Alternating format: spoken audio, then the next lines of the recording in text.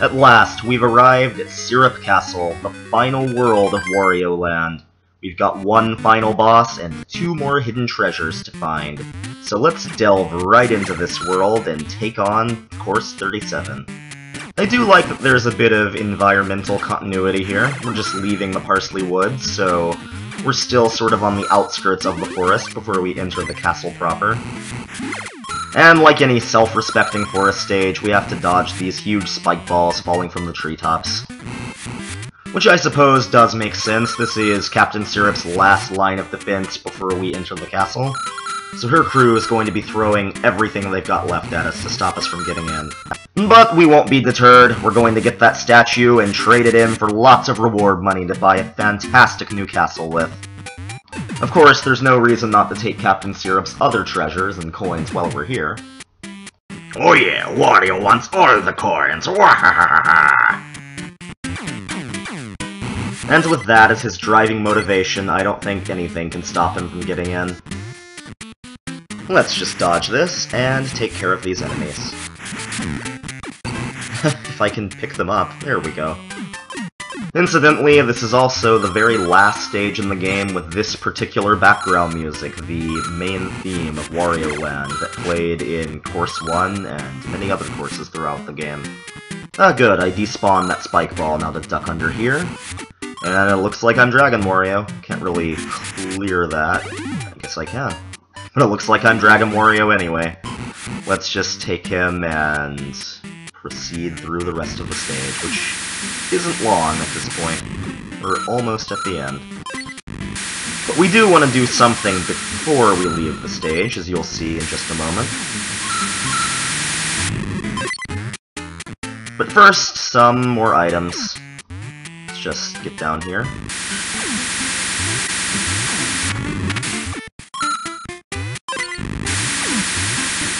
Let's be careful not to fall in the Muncher Pit like this Boom just did. Alright, so here's our key. Where could the treasure vault be? Well, we just walk through the wall. Most obvious vault in the game, right guys? Let's just go in here and see what we've won. And it's a whale. Hopefully an ornament or a uh, sculpture of a whale and not an actual endangered species that's being traded for money here. Anyway, let's go finish the stage. That, of course, gives us 14 out of the game's 15 hidden treasures, just one more to find. Anyway, let's just go in here, avoid these fireballs and moles, and finish up the stage. I actually do really like this smooth transition, how you enter the castle at the end of the course before the rest of the levels, which do take place inside of the castle. It's a nice touch. I like it.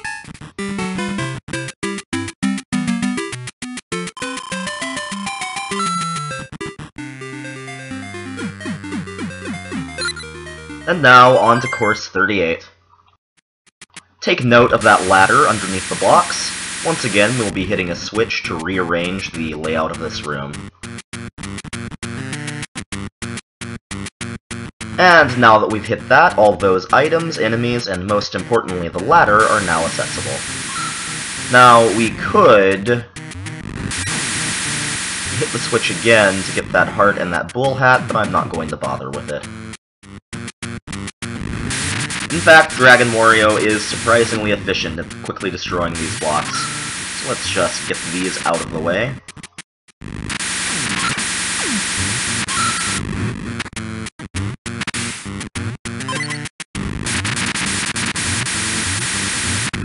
I think this section of the stage does drag on a little bit too long, but overall it's not too bad.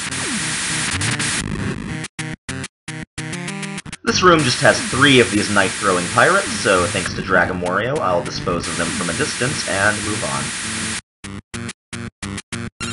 Now, we saw one of these flame turrets at the end of the previous stage, but now we're going to encounter a whole room filled with them. You just want to climb these ladders and slowly and carefully avoid being hit by the fire. Of course, we do want all these coins.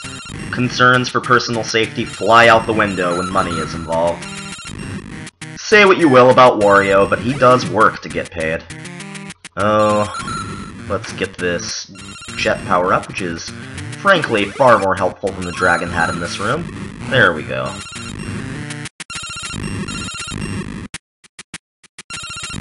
Now, because Wario is a lot bigger than Mario, his hitbox is also bigger, so these tight passageways make it a little bit harder to dodge enemy fire. But hey, we managed it okay. Ah, let's see if there's anything I can throw into this chicken. Now these enemies, despite being covered in spikes, are perfectly safe to pick up as long as they fall on the ground. How nice. Oh, I don't think I can... Maybe I can. uh, never mind. Let's just move on. And in this room we come across the final Starman of the entire game. So let's just quickly mow through these enemies before we make our way through the next room. And we should be getting a 1-up here. Perfect. Nothing in this room but this solitary enemy, so let's move on. And we have another vertical segment. Let's be very careful as we hop from ladder to ladder to reach the top of this room. As I'm demonstrating, Jet Wario makes it much easier to bypass some of these jumps.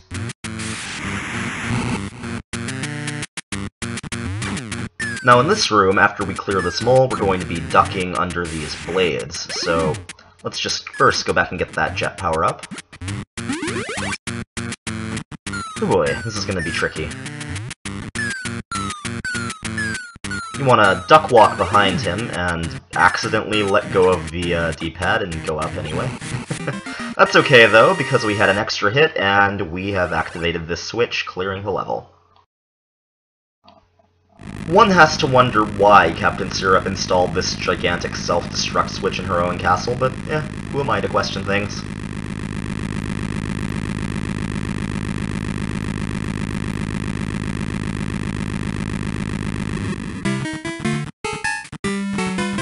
And with that, we only have two more stages to go until we've cleared the game. Let's move on to Course 39. So this stage gives us a nice change of scenery. Instead of a dank dungeon, we're up on the tall towers of Syrup Castle. In that regard, this level is much more of a straightforward run-and-jump affair, which I'm all for. It's certainly faster paced than Course 38 was. Let's just bypass this bird altogether, shall we? This one too.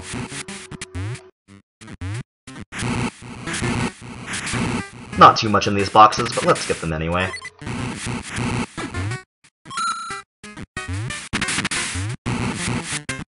Now, Bull Wario is your best bet for this stage for a number of reasons.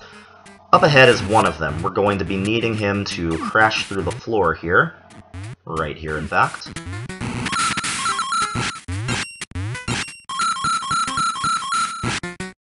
And we'll be needing to do the same thing ahead.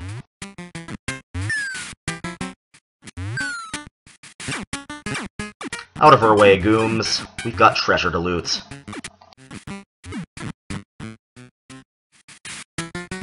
now, let's see if I can duck under these blades without accidentally releasing the control pad this time. There we go, not too difficult. And now we wait. Let's just take care of this goom and proceed. Since I'm Bull Wario already, we'll just leave that there. And we've got more Smiley Springs. This is a really fun part of the level as we go springing across these wide gaps. Just get a nice start and use the momentum to fly across the stage. Now in here is one of the most dangerous midpoints in the game, as we dodge these fireballs and leap over lava just to get a checkpoint. But it's there if you want to use it. Anyway, let's continue through the stage. Again, use the spring and leap over this gap. And this is why we needed to keep Bull Wario. Let's destroy these blocks and use these springs to get up to a hidden area. Again, I love the starry background here. Now, let's just enter this room. And first, let's head up in this direction to get our key.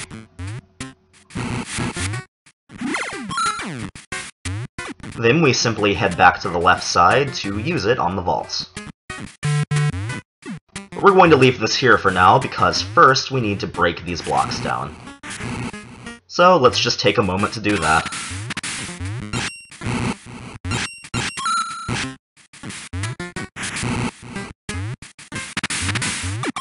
And now, let's go back and get the key.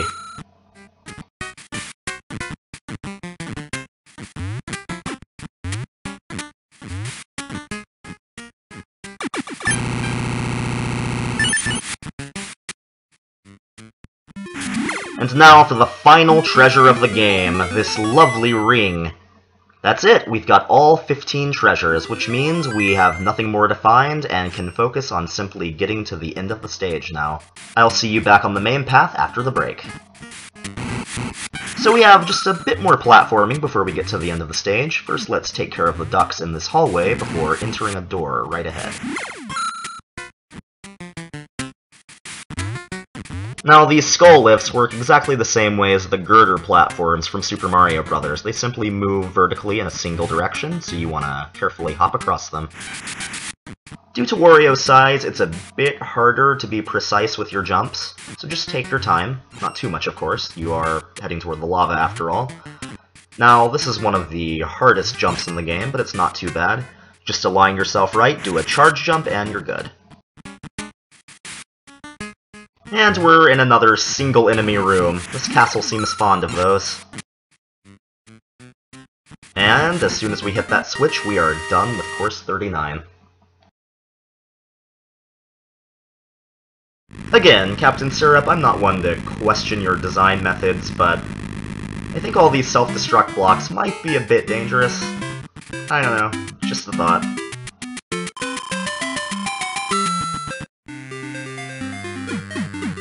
And now we enter the final stage of the game, Course 40, where we face off against our nemesis, Captain Syrup. So this stage is a ton of fun. Lots of jumping, lots of smile springs, lots of coins everywhere. It's the perfect way to end Wario Land. That said, while it is fun, it's still definitely challenging.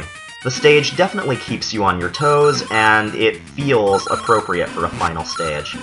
Appropriately enough, this is also the only stage in the game that plays the particular background music you're listening to now. While Jet Wario would be nice for added mobility, Bull Wario is good for getting these blocks. Let's just get this one as well before moving on. We want to be symmetrical after all. There really are so many coins in this stage, which is again only fitting, this is a pirate's fortress after all. Let's just try to grab as many as we can as we make our way across.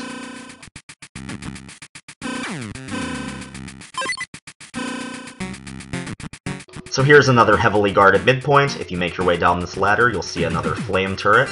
Not worth it though, we're just going to charge on to the end.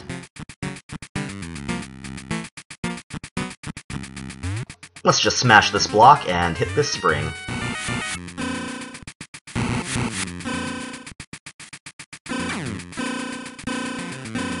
And simply repeat the process for the next one. Just take a wide jump here and spring our way across. I'll be right back. Let's be careful not to fall this time. Just grab all these coins on the way, and make a wider jump here, and here. Get these coins in the air as we go, even though we can't see them, they're up there. And that unfortunately concludes the spring segment of the castle, but we have a bit more castle to go. We now have to face a mid-boss. This is Captain Syrup's personal guard, Yaburiki. In order to damage him, you'll have to dash into him from behind when his back is turned. Attacking him head-on or jumping on him will deal damage to you instead. As you can see, when Yaburiki is attacked, he gets angry and charges across the room. Simply wait for him to calm down and repeat the process. Once you've damaged him four times, you'll defeat him and can move on. So we need to hit him just one more time. And there we go.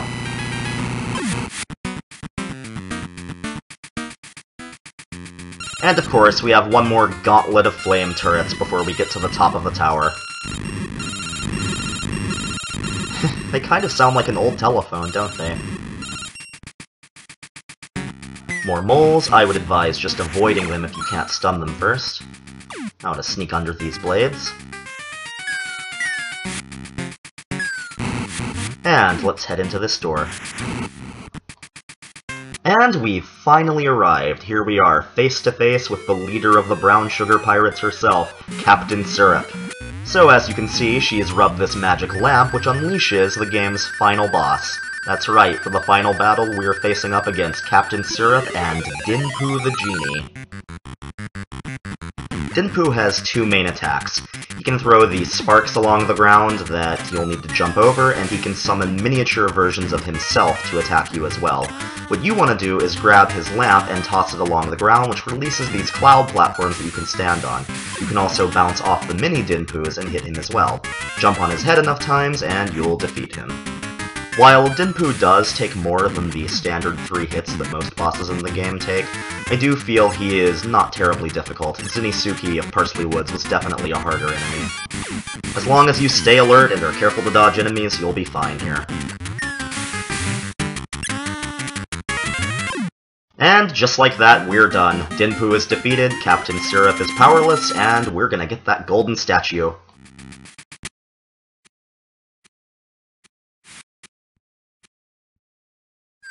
Man, Syrup, what is it with you and blowing up your own castle? Oh well, let's get out of here.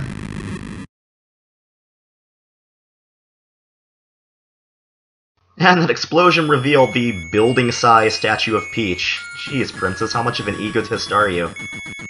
And here's Mario. I feel like he's all, Hey, Wario, thank you for getting the statue back for me. You're a true friend. Hey, wait a minute, come back here. I want to sell that statue for lots of money. Wah! But all is not lost. Wario's still got a sweet magic lamp out of the deal. Maybe he can wish for something.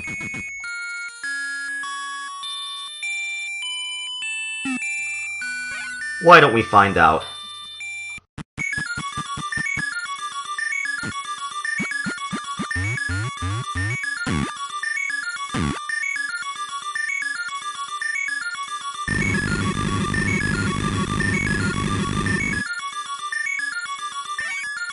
Dinpoo seems a lot nicer now that he's not trying to kill us. Seems to be offering only one wish instead of the traditional three, so of course Wario's going to wish for a beautiful castle to move into. But Dinpoo's wishes don't come cheap. Dinpoo's gotta get paid. And this is where all the coins and treasure that we've been collecting come into play.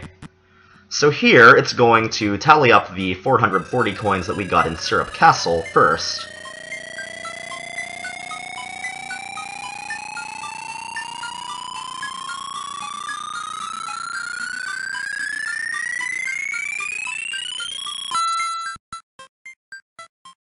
And then, piece by piece, it appraises the value of and adds the totals of the treasures we've collected throughout the game.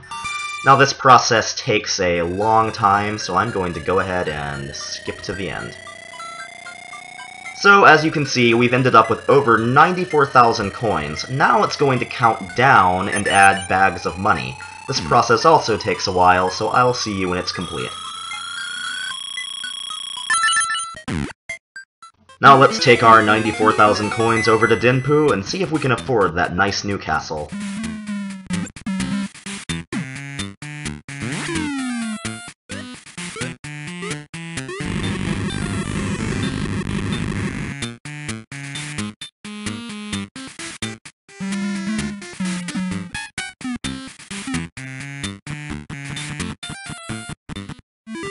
And because our coins totaled above 90,000, which is the threshold for the castle ending, we do! Wario finally has a castle of his own, one he didn't steal from someone else this time, and his dreams have come true. For the moment, I'm sure he'll get greedy and go treasure hunting again, very soon. In any case, I'm gonna let you guys sit back and enjoy the credits. If you want to see some bonus content, just skip ahead to after the credits are complete, but for now, I'm gonna be quiet and let you enjoy the ending sequence. See you then!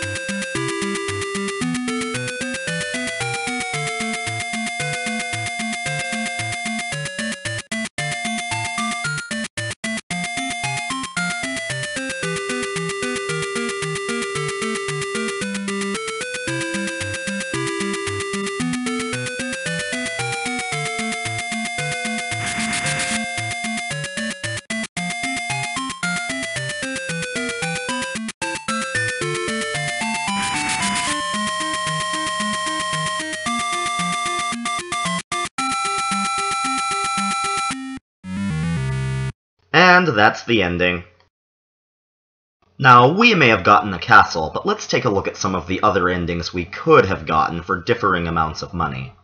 First up, if you complete the game with less than 10,071 coins, which is hard to do, you get this birdhouse, and Wario is not pleased about that. Poor Wario. For a bit more, you get these barely more livable accommodations.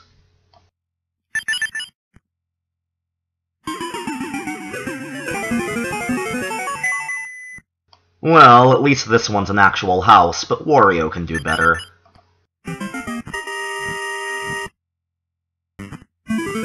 Now this is more like it. If you do get more than 90,008 coins, you get the castle ending that we already saw, but if you max out your coins, you get the next ending. For 99,999 coins, an amount that requires you to grind for coins even after collecting all the treasures, your prize is... Wario's very own planet, or possibly the moon. Either way, it's pretty awesome. And we've come to the end of my Wario Land Super Mario Land 3 Let's Play. It's been a fun ride, and I thank all of you for watching with me. This was actually my first Let's Play ever, and I do hope to get better as I continue making these. So, if you enjoyed this one, stay tuned, because I've got more planned for the future. Thanks so much for watching, and see you next time.